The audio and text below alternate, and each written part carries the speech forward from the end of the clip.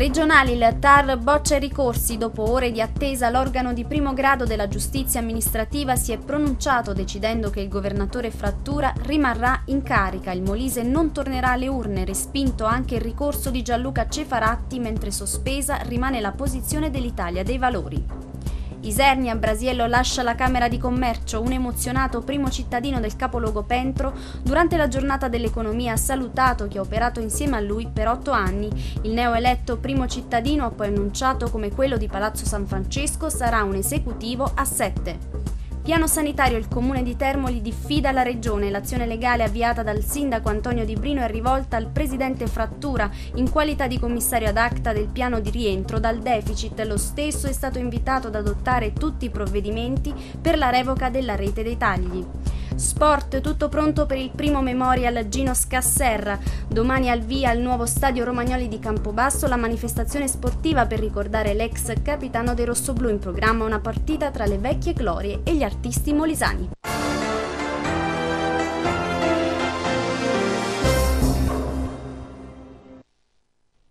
Bentrovati con una nuova edizione del nostro telegiornale, lo avete sentito nei titoli, in apertura c'è la politica e i ricorsi elettorali perché dopo ore di attesa l'organo di primo grado della giustizia amministrativa si è pronunciato decidendo che il governatore Frattura rimarrà in carica, il Molise non tornerà dunque alle urne, respinto anche il ricorso di Gianluca Cefaratti mentre sospesa rimane ancora la posizione dell'Italia dei Valori. Sentiamo. Per il primo grado della giustizia amministrativa il Molise non tornerà alle urne. Dopo ore e ore d'attesa la politica molisana ha conosciuto finalmente il responso del ricorso sull'annullamento delle elezioni. Il TAR ha infatti respinto l'istanza inoltrata da due cittadini elettori del centrodestra, Gianluca De Santis e Beniamino Mastroiacovo, che chiedevano il ritorno al voto dei molisani per una serie di presunte irregolarità che riguardavano l'autentica delle firme e l'utilizzo del simbolo di partito. Situazioni queste che sarebbero state rimarcate in modo particolare rispettivamente per i comunisti italiani e il Movimento 5 Stelle da un lato e per il Partito Democratico dall'altro. Mentre inevitabile sarà ora il ricorso dei legali del centrodestra al Consiglio di Stato, il centro-sinistra del governatore Frattura può per il momento tirare un sospiro di sollievo. Per la verità eravamo sereni eh, nel lo commento favorevolmente e soprattutto lo commento ringraziando ancora una volta i 37.000 molisani più di quanti hanno dato la fiducia al centrodestra. 86.000 voti, insomma, significa una marea di molisani che malgrado i cinque candidati hanno scelto la proposta di governo del centro-sinistra e soprattutto lo apprendo favorevolmente dopo che è stato evidentemente bocciato quel tentativo di riforma algebrica che qualche legale del centrodestra ha provato a mettere in campo immaginando di poter sommare mele e pere, cosa che invece evidentemente le ferree regole della matematica non permettono. Respinto da parte del TAR anche il ricorso inoltrato da Gianluca Cefaratti che rivendicava il seggio a discapito proprio dei pentastellati Antonio Federico e Patrizia Manzo.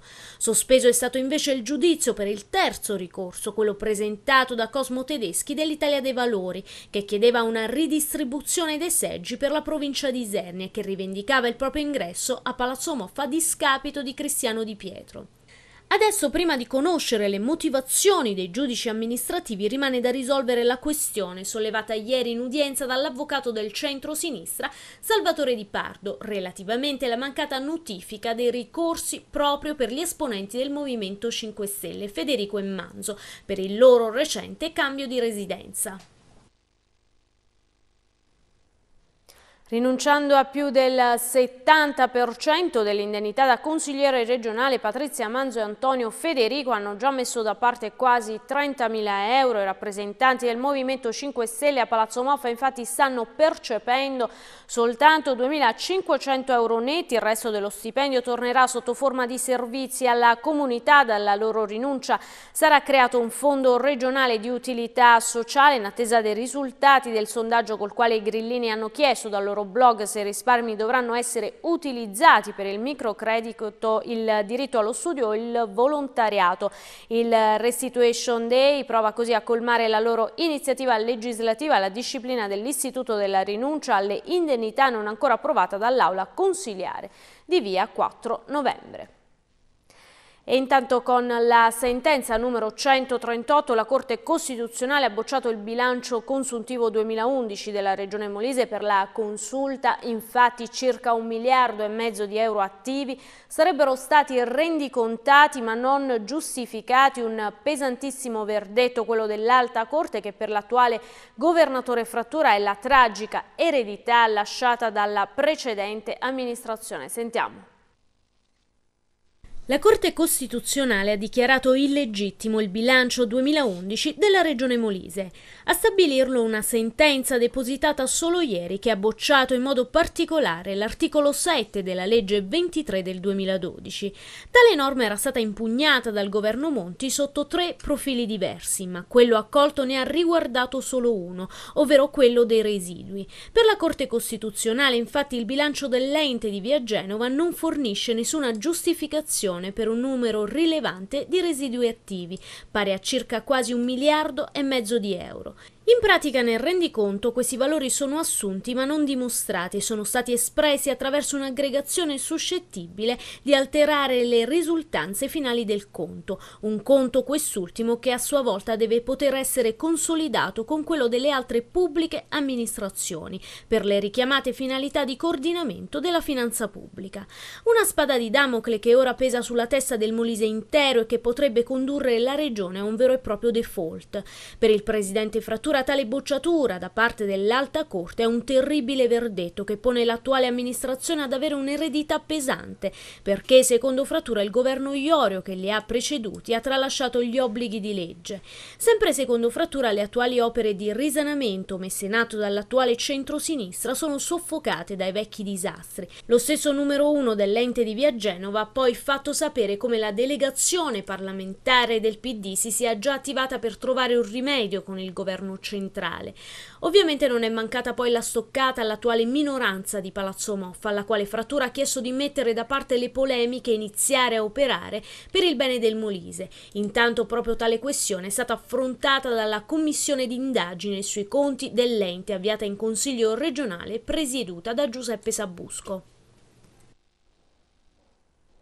Un aiuto concreto alle piccole imprese potrebbe arrivare invece dal disegno di legge licenziato in prima commissione sull'attivazione in Molise di un prestito inferiore a 25.000 euro destinato a finanziare microimprese e privati in difficoltà che da soli non riuscirebbero ad aprire un'attività. Un primo passo verso l'attivazione di questo importante strumento ha dichiarato il vicepresidente del Consiglio regionale Cristiano Di Pietro. Ora toccherà all'Aula approvare definitivamente la proposta di legge. Mi preme per però far presente che se il progetto finanziario darà risposte interessanti attraverso successive deliberazioni sarà possibile anche un incremento del fondo, un passaggio questo che io stesso ho chiesto di prevedere, ha poi concluso Di Pietro. Intanto in mattinata si è riunito proprio il Comitato di sorveglianza del programma operativo regionale del Fondo Europeo di Sviluppo della Regione Molise, un incontro durante il quale sono stati illustrati i risultati conseguiti, le criticità e le prospettive del programma operativo. Sentiamo. Qualità, tempi certi e condivisione con un partenariato sempre più attivo. Il nuovo corso presentato dal Presidente della Regione Molise, Paolo Di Laura Frattura, per la programmazione 2014-2020 trova la sua prima espressione nella riunione del Comitato di Sorveglianza convocato dall'autorità di gestione. Nuovo metodo e nuovo approccio anche per il bilancio del programma operativo regionale FESR 2007-2013. Facciamo il punto sull'avanzamento del fondo FESR, anche su questo questo con l'obiettivo di impegnare le risorse residue nella logica di condivisione che abbiamo lanciato per la nuova programmazione per il prossimo sestennio, cercando di ottimizzare anche i residui delle risorse della precedente programmazione con la logica di accompagnare soprattutto le imprese ad affrontare al meglio le difficoltà contingenti.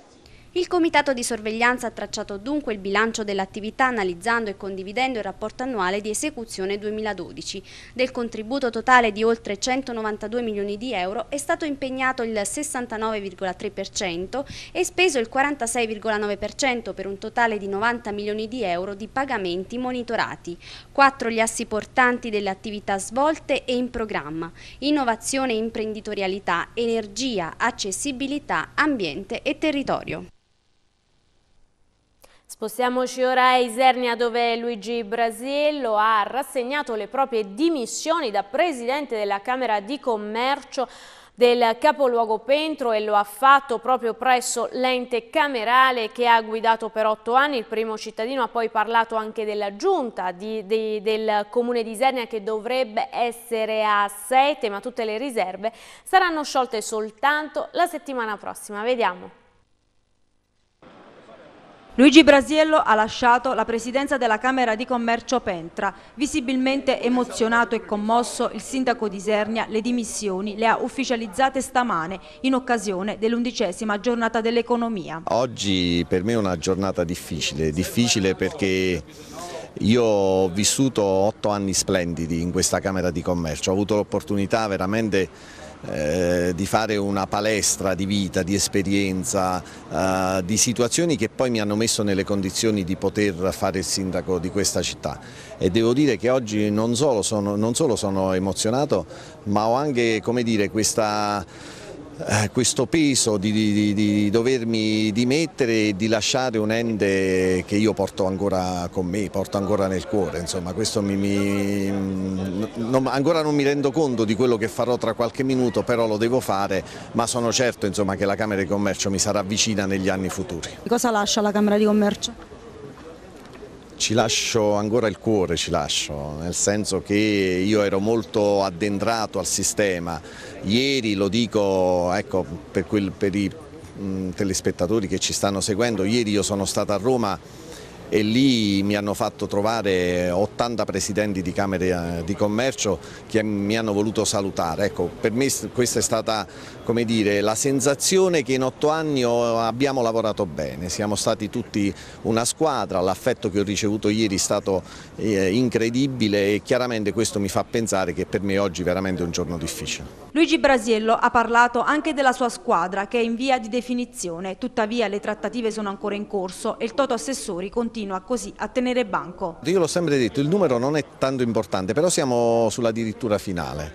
Io lunedì vedrò tutti i partiti, li ho già incontrati singolarmente, mi hanno espresso le loro dire, richieste, definiamole così eh, tranquillamente sto facendo una valutazione complessiva di tutto quello che ho sentito, lunedì mi incontrerò con tutti loro, tutti quanti insieme e credo che all'inizio della settimana, a metà settimana avremo il numero dei, degli assessori che sarà, ripeto ancora una volta, adeguato alle esigenze della città, certamente però quello che non voglio fare è partire con il piede sbagliato quindi se ci sarà qualche giorno da, da valutare, da, prendere, dire, da, da fare una, ulteriore, una riflessione ulteriore lo farò certamente, proprio per partire con il piede giusto e per partire con una squadra che possa essere una squadra rappresentativa di tutta la coalizione.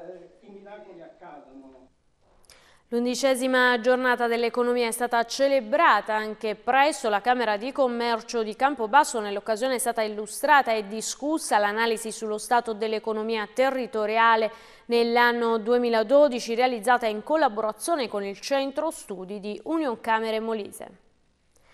Andiamo, ritorniamo a Isernia perché c'è stata una clamorosa forma di protesta dei dipendenti della DR Motor da mesi senza stipendio, un presidio in pieno centro cittadino per denunciare all'opinione pubblica l'azione messa in atto dall'azienda di macchia di Isernia comunicando i licenziamenti di tre dei 59 operai tramite raccomandata provvedimenti questi che la FIOM CGL ritiene ingiusti. Sentiamo.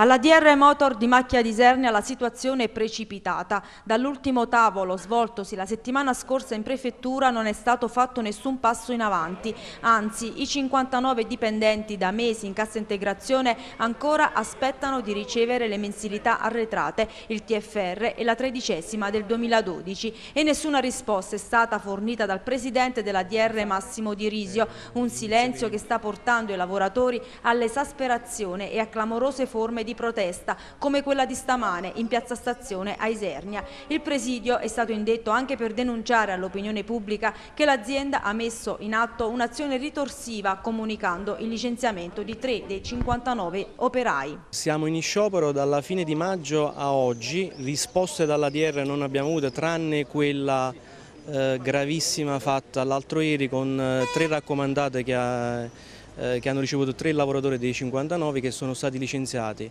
È un atto gravissimo eh, che è stato fatto da parte della, della società durante uno sciopero, una, una protesta eh, legittima dei lavoratori perché stanno rivendicando i loro eh, diritti come il, lo stipendio. Eh, le motivazioni contenute in quei licenziamenti sono inconsistenti e infondate. Noi impugneremo, anzi abbiamo già impugnato i licenziamenti, andremo per, per, le, per, le, vie legali.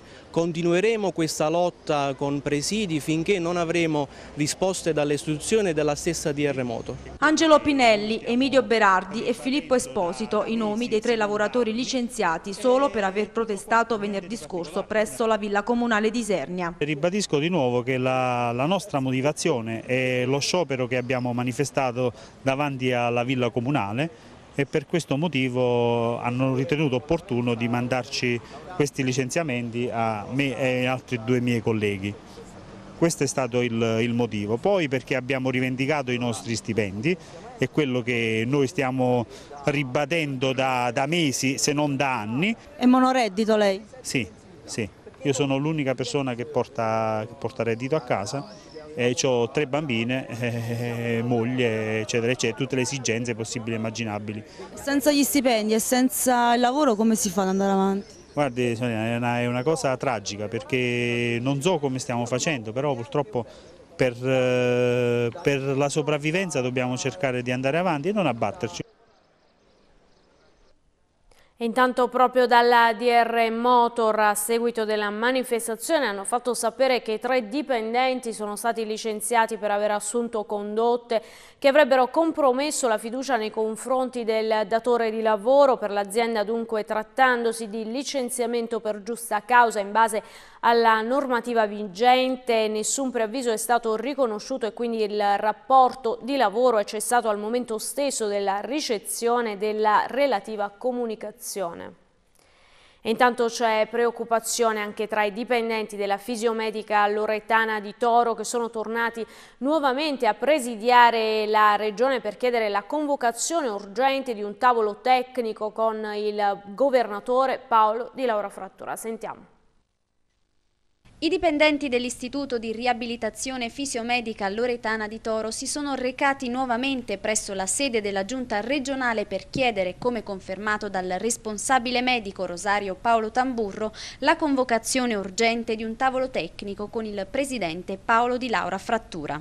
Questo chiediamo, che ci sia eh, finalmente chiarezza tra le parti per poter avere poi la possibilità di evitare tutto quello che catastroficamente e che purtroppo drammaticamente potrebbe succedere in termini di licenziamenti, di riduzione di personale e quant'altro.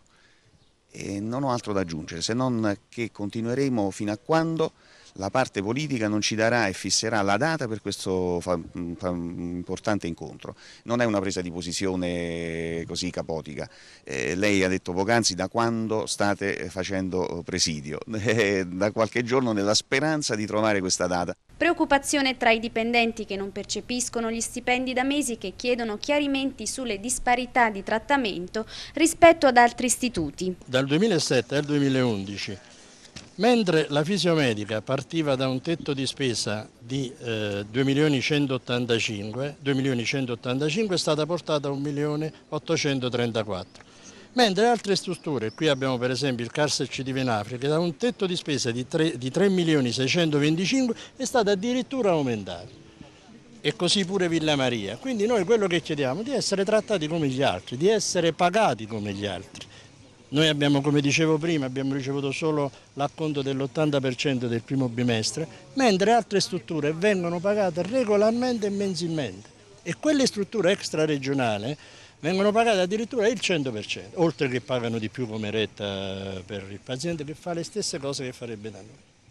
Noi chiediamo perché ci debbano essere queste differenze, perché non si può sfruttare al massimo il potenziale della fisiomedica, il ripristino delle famose 26.000 giornate lavorative che non solo non richiederebbe il licenziamento di nessuno, ma addirittura l'occupazione di qualche altra unità e a costi di meno di quanto sta spendendo attualmente la Regione per mandare i pazienti fuori.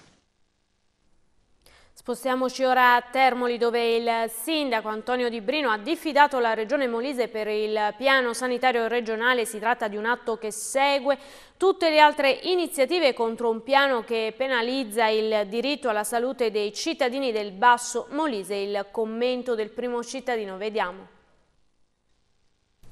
Il sindaco di Termoli Antonio Di Brino, con l'assistenza dello studio dell'avvocato Vincenzo Iacovino, ha diffidato la regione Molise invitandola alla revoca, anche in autotutela, del piano sanitario regionale adottato dal commissario ad acta Filippo Basso. Un atto di diffida è stato prima di tutto indirizzato al presidente della giunta regionale del Molise, Frattura, che in virtù del ruolo assunto nel comparto sanitario, oltre ad assumere opportune iniziative, dovrebbe garantire l'autonomia regionale e il rispetto delle norme costituzionali. Nello stesso documento è stato poi poi diffidato il Consiglio regionale, anche questo organo che dovrebbe impugnare l'atto dinanzi alla Corte Costituzionale. Ad adottare opportuni provvedimenti anche l'assessore regionale alle politiche sociali, Michele Petraroia, il direttore generale dell'ASREM.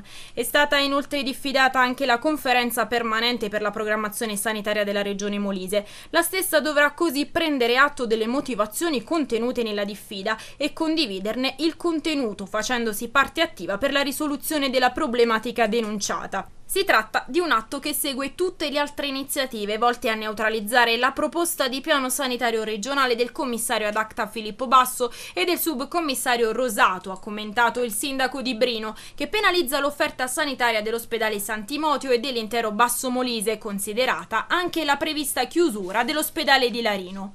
Quella di Di Brino non è solo una contestazione sulla legittimità dell'atto, ma anche una presa di coscienza su tagli trasversali effettuati senza tener conto delle esigenze di cura dei cittadini del Basso Molise. Inoltre, proprio il depotenziamento sanitario dell'area adriatica e la prevista chiusura dell'ospedale di Larino farà aumentare la mobilità passiva dei cittadini verso gli ospedali delle regioni limitrofe. Promozione territoriale e turistica, impulso a una maggiore conoscenza dell'immenso patrimonio di piante officinali, convegnistica di ampio respiro di medicina biointegrata. Queste le linee guida che animeranno l'edizione nazionale del Planta Tour 2013 denominata Natura Blu che dal 18 al 23 giugno si svolgerà in alcuni comuni Molisani, promossa dalla Biogruppo e dallo stabilimento delle officine naturali, medici, farmacisti, naturo naturopati ed erboristi giungeranno a Bagnoli del Trigno per trascorrere una settimana a stretto contatto con le bellezze locali. Punto focale del percorso naturalistico saranno le strutture ricettive, ricreative e scientifiche della Domus Area. Intanto a Termoli da settembre partirà un progetto di riqualificazione urbana che interesserà numerose zone della città adriatica. Soddisfatto proprio il sindaco di Brino, la prossima estate potremo già vivere nella città del futuro, ha detto. Vediamo. 3 milioni e mezzo di euro, questa la somma impiegata dall'amministrazione comunale di Termoli per il nuovo piano di riqualificazione urbana che coinvolgerà numerose zone della città. Ad aggiudicarsi il bando di gara per i lavori una ditta di Castelpetroso, la stessa che ha già realizzato la passeggiata sotto le mura del borgo antico. Il progetto riguarderà principalmente Piazza Monumento, il corso nazionale, il primo tratto di lungomare nord e la scala chiocciola. Il restyling della città adriatica partirà da settembre, la ditta avrà 600 130 giorni a disposizione per effettuare i lavori pubblici, che potrebbero quindi terminare prima dell'estate 2015. Importanti le novità non solo urbanistiche ma anche per la viabilità. Corso Nazionale diventerà isola pedonale non solo il pomeriggio ma per tutta la giornata. Inoltre per ciò che concerne il lungomare nord, senso unico dal tratto iniziale fino all'ex viadotto in direzione Vasto. Soddisfazione nelle parole del sindaco di Termoli Antonio Di Brino comincia a realizzarsi il sogno di una Termoli futura, una Termoli come l'ho sempre immaginata, come l'ho condivisa insieme al gruppo di maggioranza, a chi mi ha sostenuto in campagna elettorale e che mi sta sostenendo in questa esperienza eccezionale, esperienza da sindaco, difficile, dura, impegnativa, ma veramente eccezionale perché magari delle idee cominciano a prendere corpo e quindi è un sogno che finalmente comincia a realizzarsi. Riqualificare la città di Termoli a partire dal centro, da Piazza Monumento a Corso Nazionale è una cosa che credo eh, insomma, andava fatta già qualche anno fa, sono 40 anni che non si mette mano né al centro né al, um, a Piazza Monumento a Corso Nazionale, è arrivato il momento.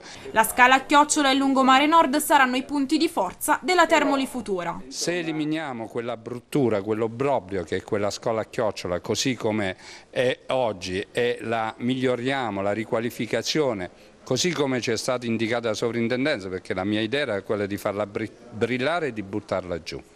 Se poi a questo secondo progetto eh, inseriamo anche quello del lungomare, dei due lungomari, ma in questo caso parliamo del lungomare nord, allora eh, veramente daremo un volto nuovo alla città di Termoli.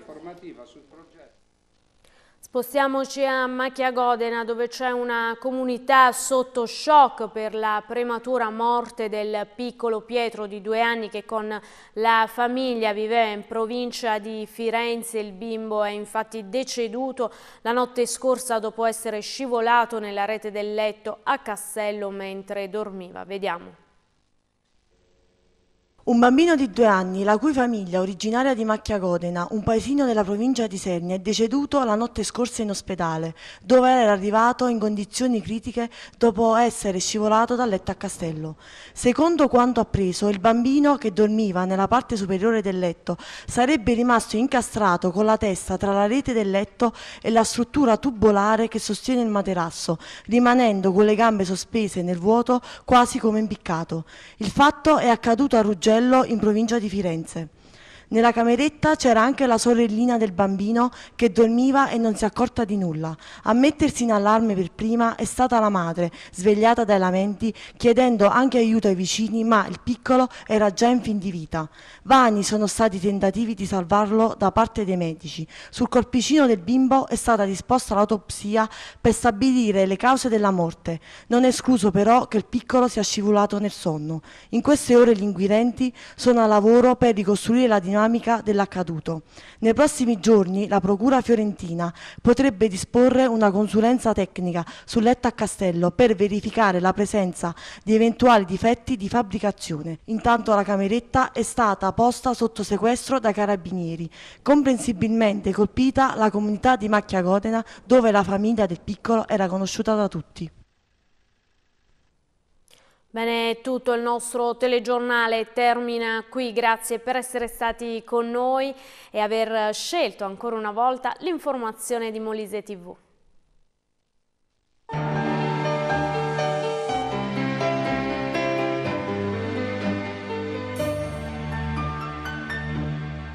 Il meteo è offerto da al di là delle parole, se riuscirai a comprendere il significato reale di bellezza, arte e scultura, riuscirai a creare armonie e colori intensamente surreali da esprimere il proprio essere. Naturalmente bella, naturalmente bella, naturalmente bella. A Campobasso, in via Campagna 215.